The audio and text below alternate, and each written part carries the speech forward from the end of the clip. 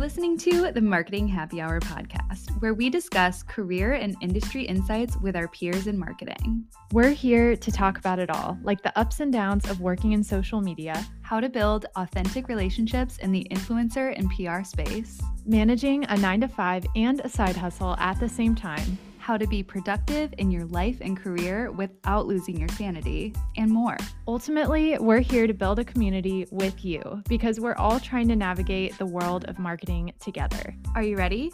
Grab your favorite drink and join your hosts, Cassie and Erica, for this week's episode. This week, we are chatting with Jennie Toutoulis, Senior Manager of PR, Celebrity Partnerships, and Advocacy at a major beauty brand, one that Cassie and I are such fans of. In this episode, Jenny shares a peek into her career journey, her best advice for those looking to enter the beauty and or PR space, a look at what she values in working relationships and in partnerships for the brand, and her predictions for the future of PR as we inch closer to 2025. Grab your favorite drink and let's listen in. Hi Jennie, welcome to Marketing Happy Hour. Hi, thanks for having me. Absolutely. We're so stoked to talk to you and just learn about everything that you've been up to recently in your career and even outside of it too. Um, but first, we have to ask what has been in your glass recently? Right now, I have a Diet Coke, always my like mid afternoon treat. So that's what I've been having in my glass lately. But if I had a Poppi, it would be a Poppi. Gotta reset. Yeah. oh my that. gosh. Which is your favorite flavor of Poppi? Okay, I feel like this is an unpopular opinion, but I'm a ginger lime girl. Oh, oh my gosh. Yeah, that is that I will say that is unpopular. I don't think I've heard that answer. It's kind of a hot take, but I love it. Oh man, I love anything ginger. I'm not sure if I've had that one or not, but I feel like I might like that too. I'll have to check that yeah. out. yeah, it's the one I'm always like the first one to suggest, but then yeah. like a strawberry lemon or that's like awesome one that just came out. But ginger lime girl. Love it. Love it. I um I currently have a kombucha this afternoon, which I feel like when we first started the show, I always had kombucha.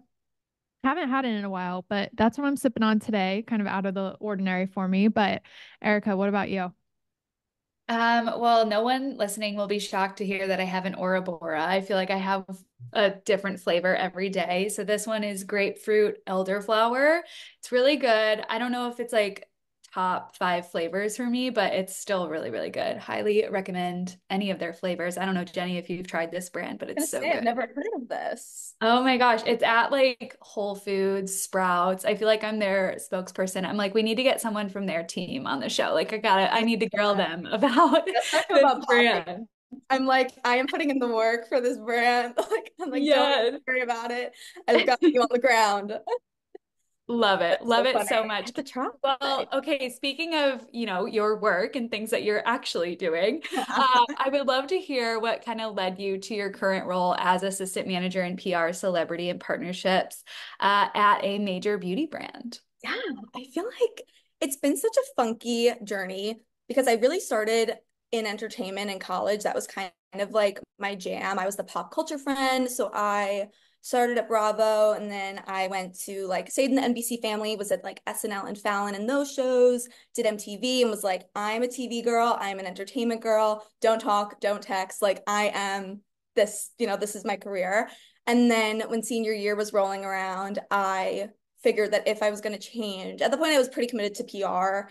I've always liked a lot of a lot of different things and I didn't want to be like just a marketing person or just a fi- finance actually was never in the question, not a numbers girl. But I loved PR because it was a little bit of everything. And so then I knew senior year, if I wanted to change industries, that was kind of like my time to do it if the opportunity presented itself. And luckily it did. I spent the year at Tarte Cosmetics. So I was in their influencer space for a year, which was like so fun. A, as an intern to just be like a college kid, like doing and that and playing with all the makeup and stuff. And then also it was like right around when TikTok started. And so that was like a zillennial dream was like explaining the renegade, like who Charli Charli D'Amelio was to like these executives.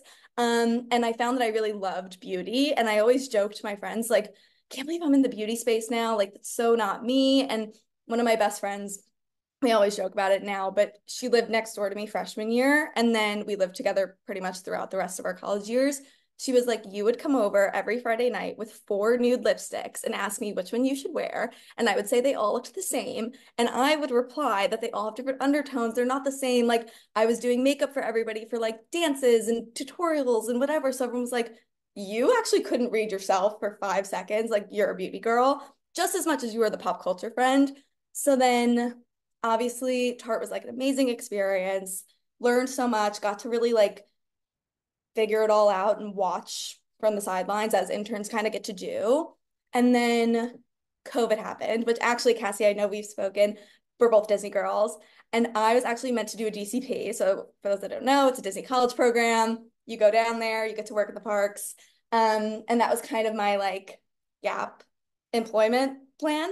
And I didn't tell anyone I was applying. It was like a big dream of mine. Got it. Fortunately, the program didn't happen because of COVID. So I was kind of like, okay, what next? Um, Tarte was able to bring me back in kind of like that same internship capacity because everyone was kind of just figuring out how to work in the pandemic. Um, spent some time back there, really like heightening that role because they were such a small but mighty team at the time. And that was kind of like a sink or swim, like we trust you, like go do influencer outreach and go do all these things that, you know, we trust you to do as this like intern kind of higher intern capacity. Um, and then of course, you know, the time comes where you just are ready for full time. And at that point, Tarte and a lot of companies, I think, just weren't quite expanding yet into full time roles and bringing all of that like full max capacity team back. And so I felt ready. They weren't able, and it was like I always say it's one of like the was one of the like saddest days of my like young career was like calling my boss and telling her like I have this new amazing opportunity. I just have to go for like, you know, my gut and also like what is ready for me next. And she was fully supportive. You know, it was like obviously devastating, but I knew it was like the right next step. And now I will be in this current role with this company for three years next month. Um, and so it was kind of like a, a natural elevation in terms of like the prestige category still within beauty, but also because my role does involve like celebrity and red carpet and things like that, that entertainment background kind of like supplemented it. And so I was able to have all of my like experience like emulsified in this one role. And so it was like, it felt like very natural steps. I just never knew what was next until it was there. Oh my gosh, that's so cool. And that really speaks to something that we talk about a lot on this show, which is like you never know where these individual experiences are going to lead and how they're going to end up playing out in your future career moves or just life moves in general. And so seeing how like your early experience and then your hand in the beauty world just kind of like mesh together is really, really cool to hear, just like a firsthand perspective of that like playing out in your career. Uh, one thing I wanted to touch on too, you mentioned in um, um, some previous conversations with us in our intake form uh, that you had a pivotal mentor and inter- internship that opened the doors for you in PR. I'm assuming that is the the Tarte internship. So could you just tell us the story of how you found that mentor and how uh, you grew that like mentor mentee relationship and how it still kind of plays out in your career today? Yeah, yeah. So actually, funny enough, it's it's the Bravo internship, and so oh, okay, um, which is so it goes all the way back, which is so crazy, is that I'm still talking about it like more than five years later. But um, are you guys familiar with her campus at all? I feel like maybe. Yes. So online women's magazine, you know, college campuses. Um, so my school didn't have, I went to Fairfield University. We didn't have sororities. So if you wanted to be like a little girly in like the media com space, like that was where you went. Um, and so I was writing for her campus my freshman year, essentially going into my sophomore year, an opportunity presented itself for me to take on the editor in chief role, which very crazy for an undergrad to do that, like, or an underclassman to do that. But they sent me to her conference that summer before to kind of like network. And to make that long story short, Saturday, I found out what an informational interview was. Sunday at the panels and like at the conference, there was this panel of PR professionals obviously every girl that was at the conference wanted to be in that room. They had like someone from MTV, someone from Bravo, like some of the best in the biz at that panel. So I got there what I thought was on time. It was a little late. So I had to stand in the back and I had the business, like the dress code was business casual, but like I didn't really want to wear slacks in New York in the summer. So I had like bell bottom jeans on, like a little off the to- shoulder top, and like a little necktie, which is this is like 2016, seven, no, probably like 17. So like very like that time. Like this is like maybe like there's an elevated version of this outfit probably for 2024, but I was like, I'm so cute and chic. But whatever. So after the conference, after they spoke on the panel, I went up to this woman who was the head at the time of PR at Bravo. She was like amazing. And I went up to ask her for an informational. And she was like, before you like say anything, she was like, you walked in the room. I loved your energy. I love your outfit. Send me a email with the subject line, Jennie with the cute scarf. Come to my office at 30 Rock. Let's have a coffee. And I was like, well, that's exactly what I was going to ask you for. So let's hang out. So then I went and met her for coffee. She had looked me up on her campus and the internet. And I had written articles about like Drake lyrics and whatever. And she was like, I love all the things you love. And like, you're so like fun. Like, do you want an internship? And I was like, yeah, girl. So I wasn't eligible that fall. They had already hired. So that spring of my sophomore year, I was able to join the comms team at Bravo, met and the other intern who is still one of my best friends to this day. But I like always love that story because the number one thing I get asked is like, how did you get into the industry? Like, how do you start? Like, you know, it's my application's going nowhere. And like, truly from that point, like, her name's Imani Ellis. She is like the best of the best. Like, she's now since left Bravo, started CultureCon. Like, she has made her own space at a table like I've never seen anybody do before. But she has just championed me throughout my whole career. She has always been someone that I'll like email to, or even in the pandemic, I was like, I need book recs. Like, just like give me something to like keep this all like I know this is going somewhere. And she just like championed me so hard and like was constantly opening the door and like not necessarily like holding my hand, but like she let me go and do my thing. And it was my responsibility to like sink or swim on behalf of her though. And I felt such a responsibility to her. Um, but it was all because I wore a cute outfit. So it's like you truly never know where that's all gonna come from. But we we hit it off and you know, to this day, she's someone I'm like constantly thinking of and, and emailing.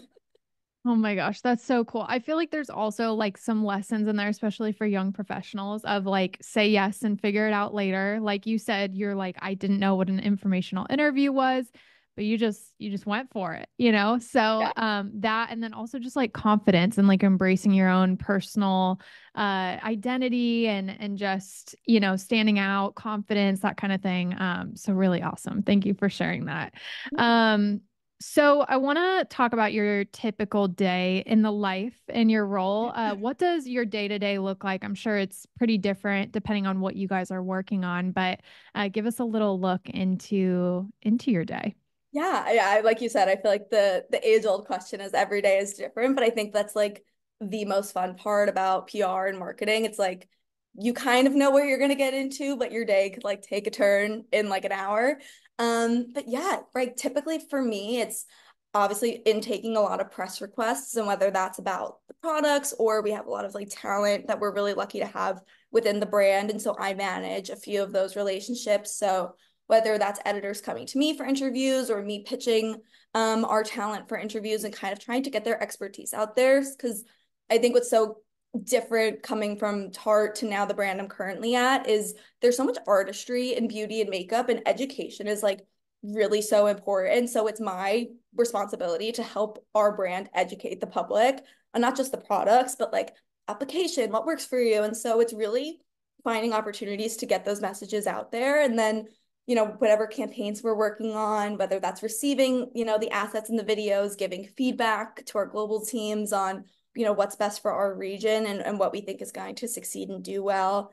Um, of course it's a lot of and it's always going to be a lot of sending out product to makeup artists and celebrity friends of the brand. And of course the influencer team is sending out to influencers and keeping the products in the hands of our advocates and the people who are out there testing and using and trying.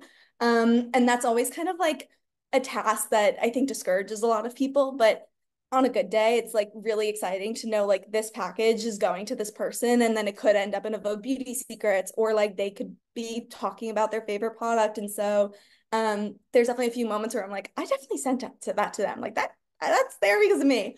Um, so always doing things like that. Red carpet seasons, honestly, like our Super Bowl. So like January to May, we're constantly kind of like in conversations about who's nominated, like where are we going to be, what are we going to do, what launches are coming, and things like that. And it's really just like a lot of a lot. I love to joke, like, you know, if we have TV opportunities or like I said, print and press opportunities. And sometimes we get like random celebrity like things across our desk where I'm like, all right, like this is gonna take up the rest of my day, but we're just gonna do it. And it's it's hard and it's it's a blessing and also a busyness that so many people love our brand that you're always just on your toes.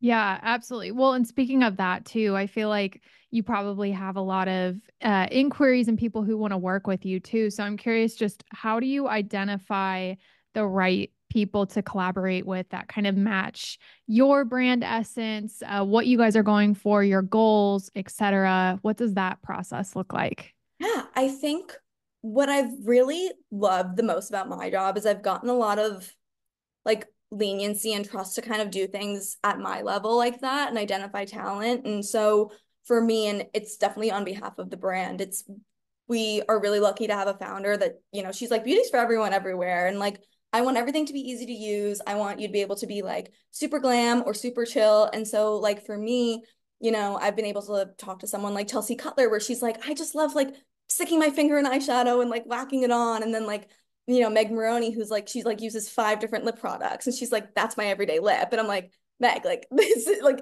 I am lucky if I put on a lip gloss sometimes. But so I think just for us, it's someone who is embodying of like that like confidence and that positivity and that like message that again like we are just so lucky to have like such a strong through line of like our brand founder and what she makes people feel and so therefore we kind of look for people who also make that them feel that way. Um, you know, like we have some talent that are part of our family that have like paved the way in their, you know, like communities and their genres that like really resonate with people and make them feel seen. And that's sort of what I'm always looking for. And also I try to look for it in like smaller pockets on my level. And I try to find little communities and little, you know, talent that have like really strong followings or speak about you know certain things or if it's if it's an insecurity and and I'm like hey like you might like these things and it might make you feel better. And that's to me like obviously when I'm looking for talent and bringing suggestions to the table and whatnot that's something I'm always thinking of but it's always just that feeling and that's what I love about beauty like it could be a celebrity it could be my mother it could be like my boss like if that makes you feel good and you are like out and spreading that I'm like that is what I'm always going to look for across the whole thing because that's even on a bad day, you know, you're making people feel good. And so it's like, that's the message and that's enough. So that's always like top of mind.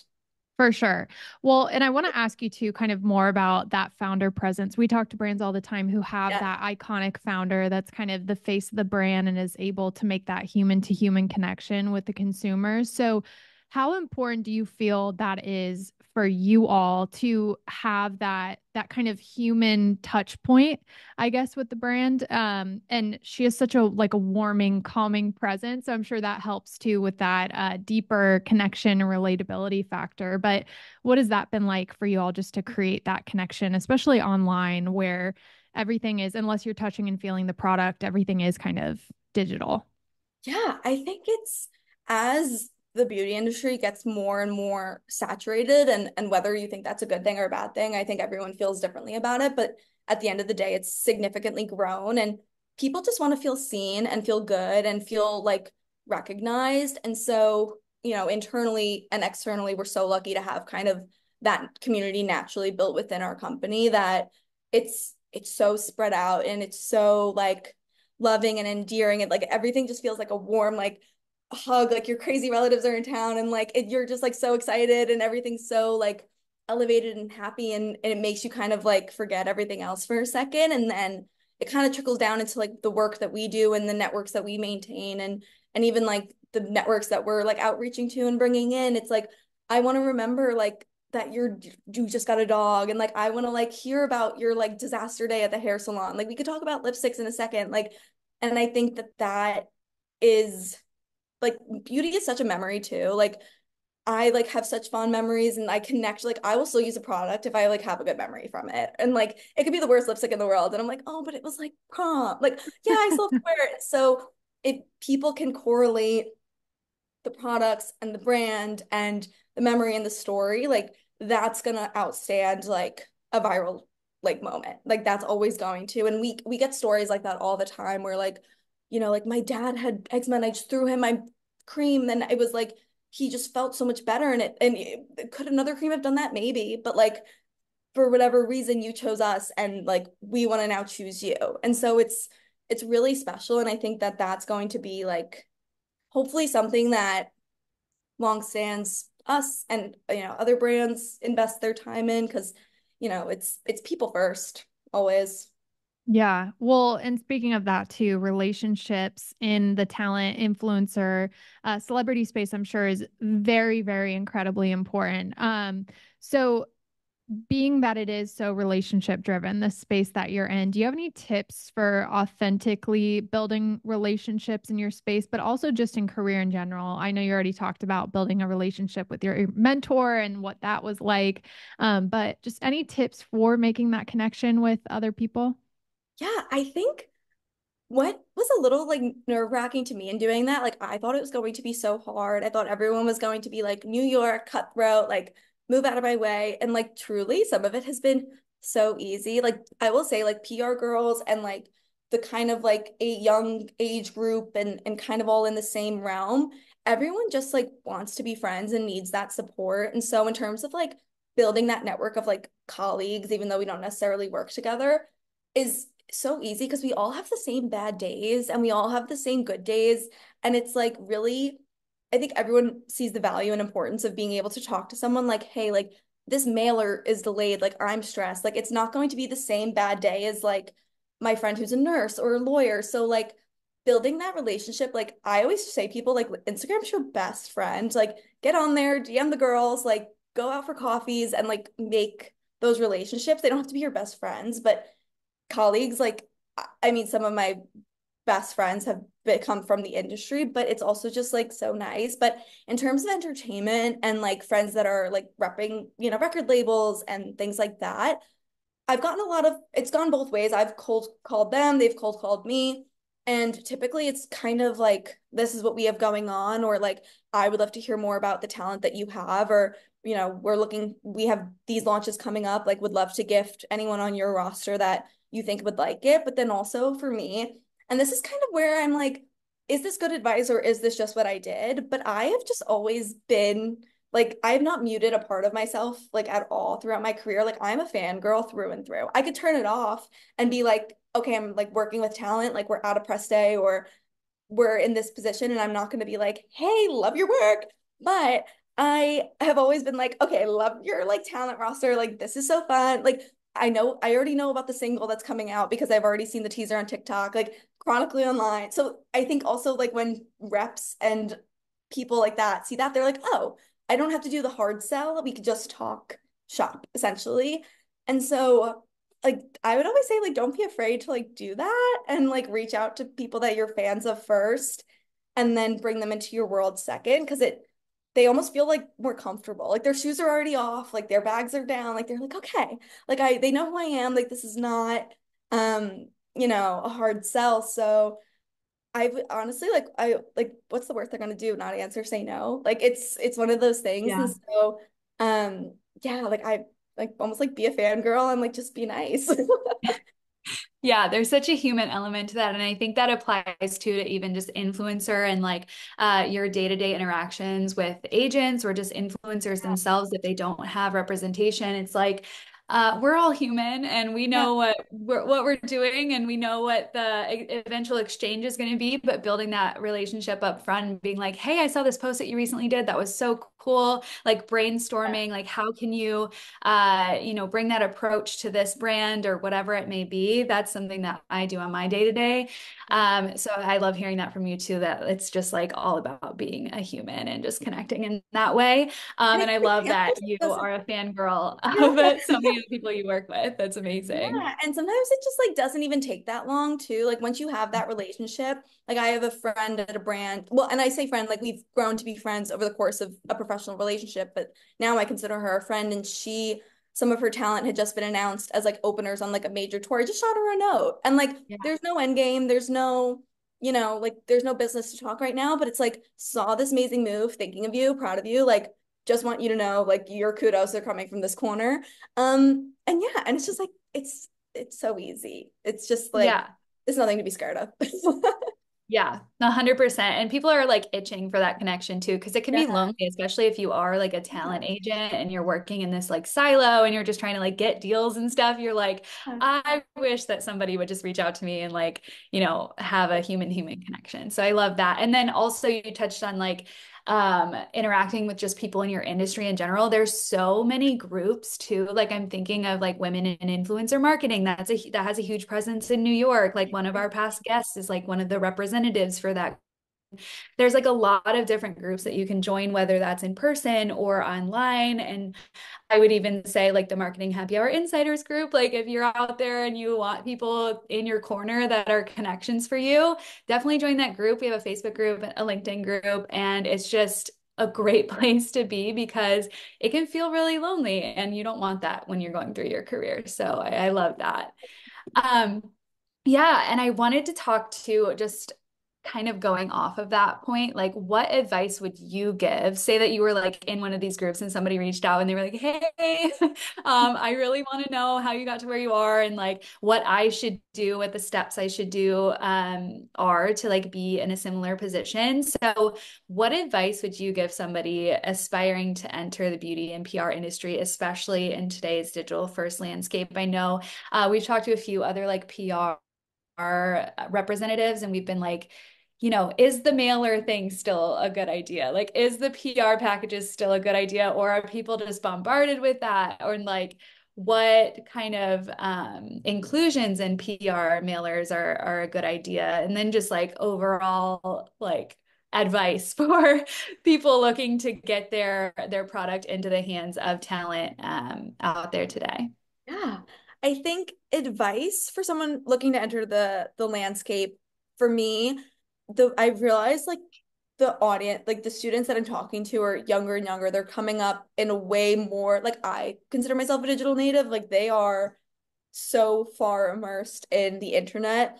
And what I found worked for me, and I think will continue to work for what are they, Gen X, I think, or Gen A, whatever, whoever's younger Gen Alpha. Gen Alpha, Alpha right? I'm like, who are they? Um, I, am like a millennial, like I'm a Gen Z, but I'm on the cusp. So it depends who I like align with. But regardless, I think what works for me and will for continue to work for them if they do it well is at the end of the day, everybody's chronically online as it is. But what I like to say that will set everybody apart and not let that time be time wasted is if you're a conscious consumer of being critically online. And so for me, like, and that's also how I kind of knew I wanted to work in this space. It was like, yeah, I'll watch your get ready with me or whatever was, you know, back on TikTok in 2020. But regardless, or even YouTube, like the OG days, like I'll watch that, but I'm like, okay, like don't tell me we've seen you use this before when I've watched every single video you've ever posted and like you haven't, or like I you like start to kind of think like, oh, this person would be really good with this brand, or like, I wonder why they haven't tried that product. And you're kind of are like thinking, or like this collective group makes sense. And you kind of like are making it up in your head and you're like seeing past the phone screen.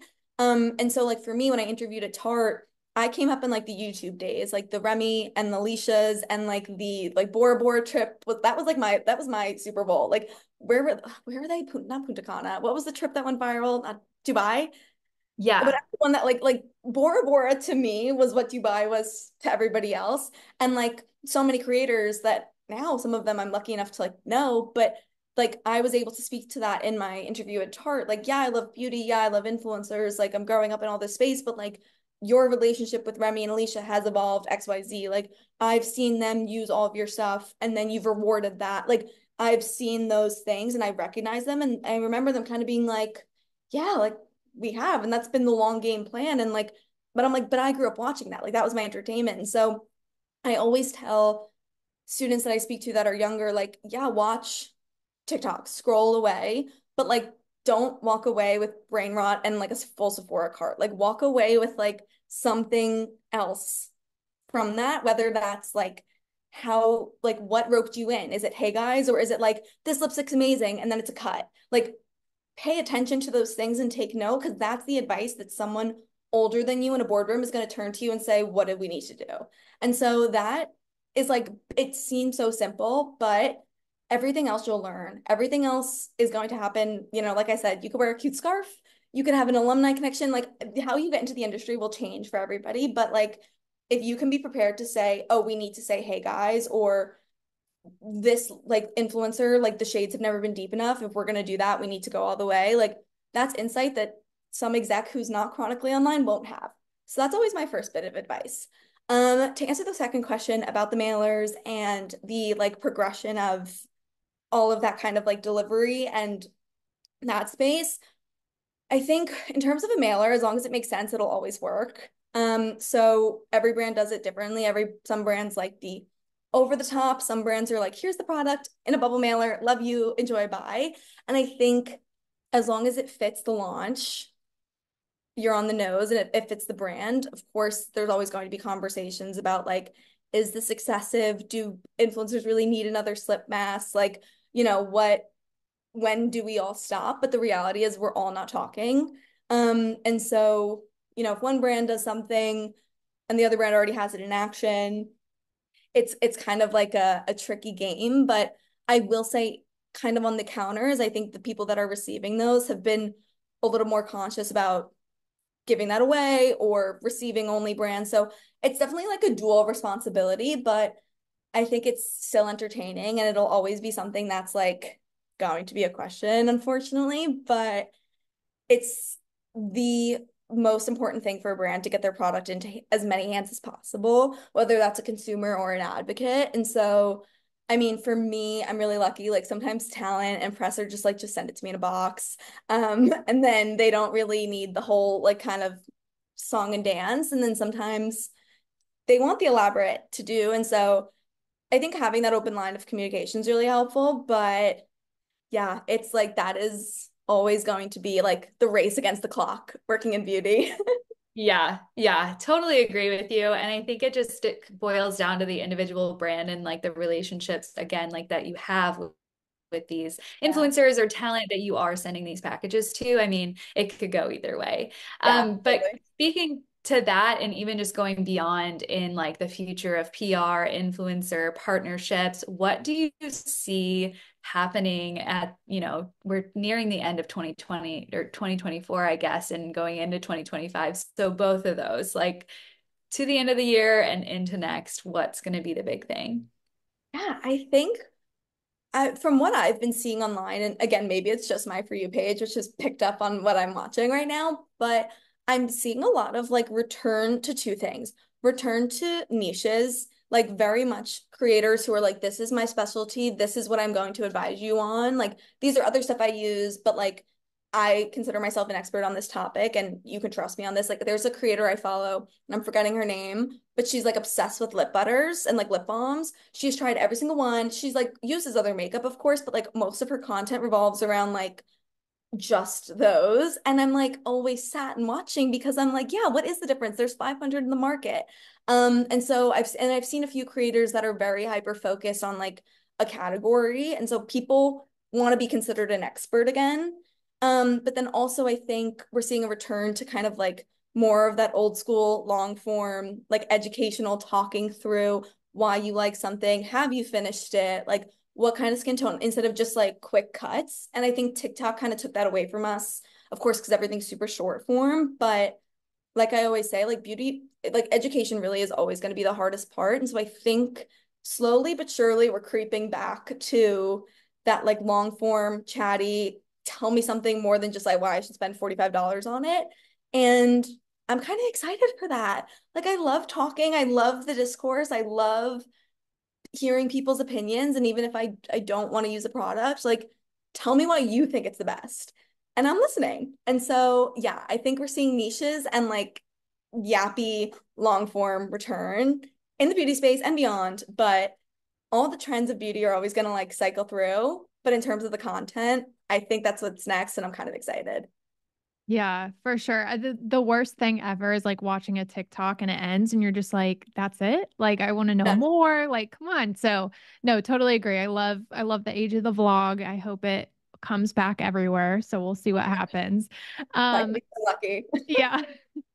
I feel like you've mentioned a number of different skills and areas of focus as we're building our career, not only in the beauty space, but just in general in marketing. Is there anything else you'd call out skill wise, things that we should focus, whether we're a young professional or even seasoned in our career, things that we should just be thinking about always improving in?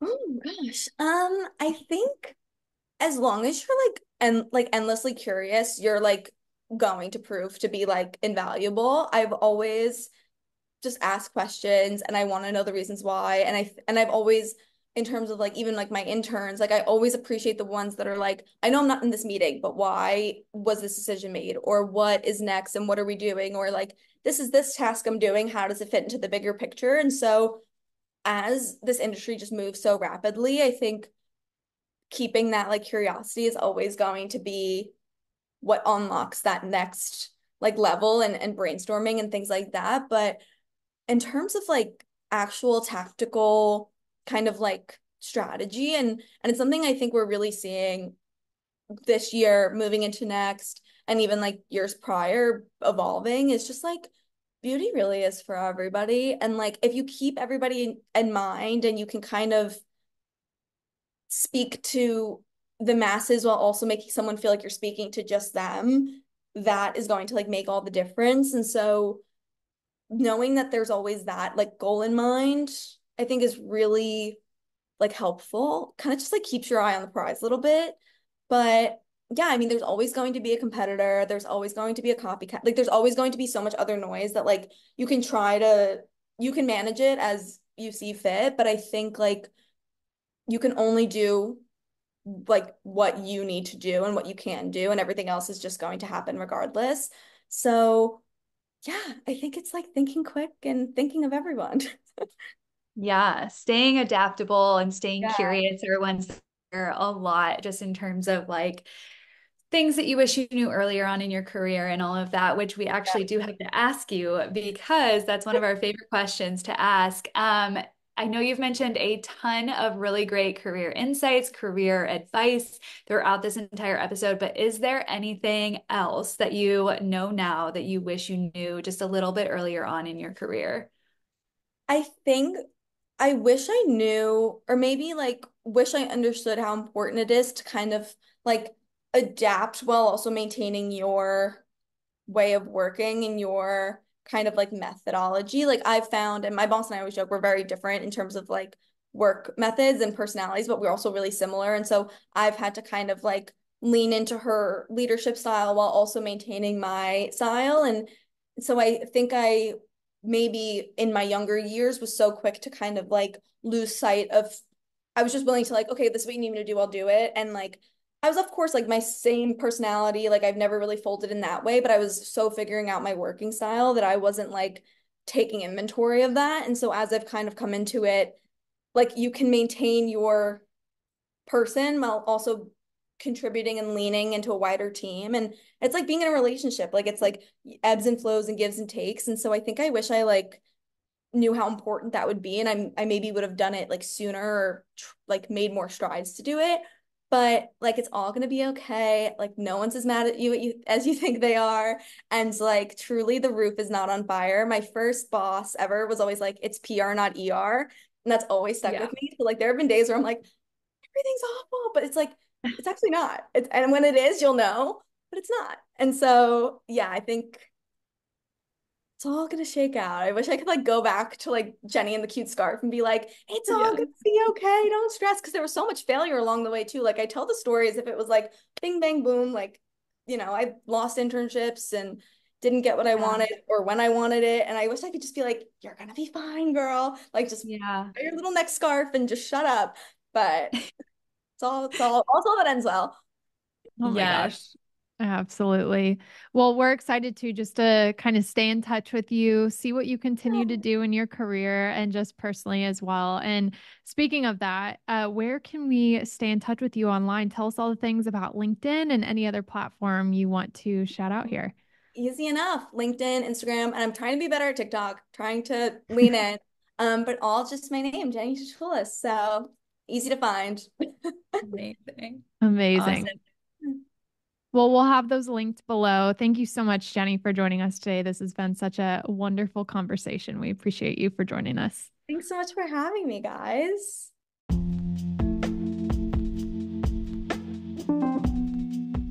Thank you so much for listening to this episode of the Marketing Happy Hour podcast. If you enjoyed this episode, please remember to subscribe, rate, and leave a review on your favorite podcast platform. If you want more of Marketing Happy Hour but don't know where to start, we invite you to download our free Marketing Happy Hour starter kit at marketinghappyhr.com forward slash starter dash kit. This interactive magazine style PDF walks through who we are, includes helpful resources like a marketing term glossary and the printable daily planner sheet that we actually use ourselves, and contains clickable links to our episode recommendations by subject area. Not to mention all the fun extras like a quiz, the link to our Marketing Happy Hour Insiders Facebook group, a word search, a playlist, a goal setting guide, content inspo by month, and more. It's our hope that you'll dive into this resource and walk away more confident in your career journey with a group of industry pals that you can lean on for advice and support. Snag your free starter kit today at marketinghappyhr.com forward slash starter dash kit for all of the info you need to become a Marketing Happy Hour insider.